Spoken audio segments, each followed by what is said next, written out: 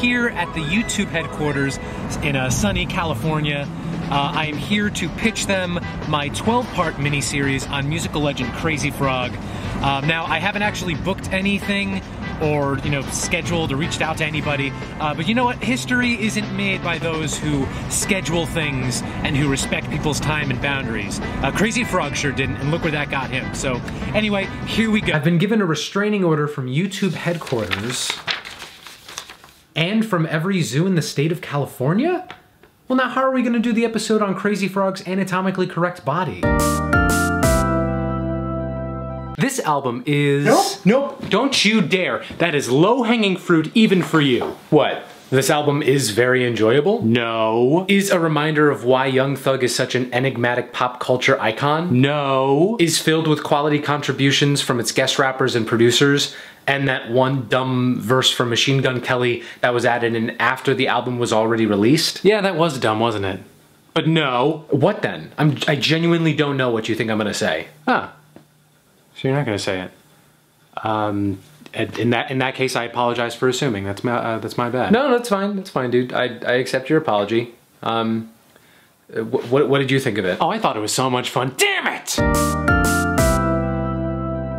I definitely prefer the overblown electro folk freakout that was 22 a million, but let, let's be real here. I love this record the second Justin Vernon said that he fell off a bass boat.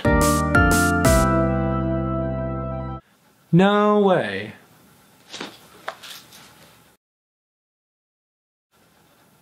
No way.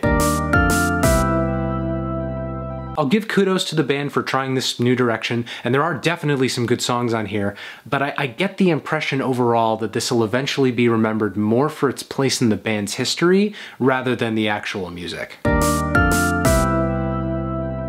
Aw, boys. Alright, come on, bring it in. Give me a hug. Uh, you're gonna be okay. You're gonna get through this. I mean, look on the bright side. You've made your best project since the Saturation trilogy. I can I can dig it.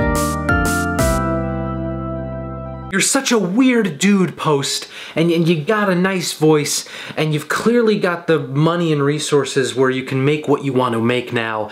And having Ozzy Osbourne on here is a neat move conceptually, but oh, you just keep making the same bland music over and over again. Arrgh, I'm so mad that you're bland.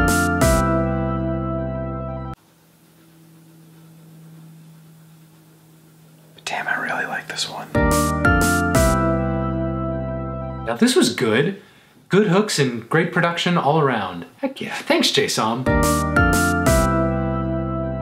My biggest issue with this album at the moment is that it makes me wish I was listening to another different album. Like, what if Taylor Swift made a Baroque pop album and got like Jon Brion or one of the Dessner brothers to produce it, and she brought on like Joanna Newsom, Andrew Bird, Fiona Apple, yMusic. She, she could keep Jack Antonoff and Max Martin and even Ed Sheeran if she wanted to. Like, I, I feel like they could fit in that aesthetic somehow.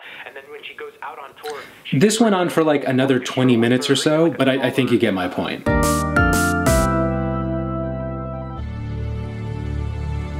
Our lives seemed so much simpler 13 years ago, until one musical act dared to challenge our preconceived notions of what art could be.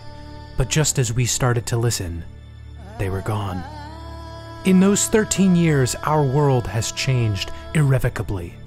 We find ourselves asking more questions about the planet we occupy, the lives we live, and the art we make. But one question looms large over all. What makes a frog go crazy? This was gonna be so good, like, uh!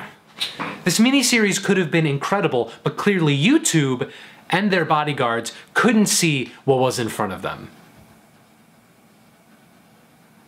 Oh yeah, and the new Tool album's pretty good too. Uh, gripping on first listen, somehow worth the 13 year long wait. Um, now that we have those guys back, how about we get this musical icon back, huh? Anybody?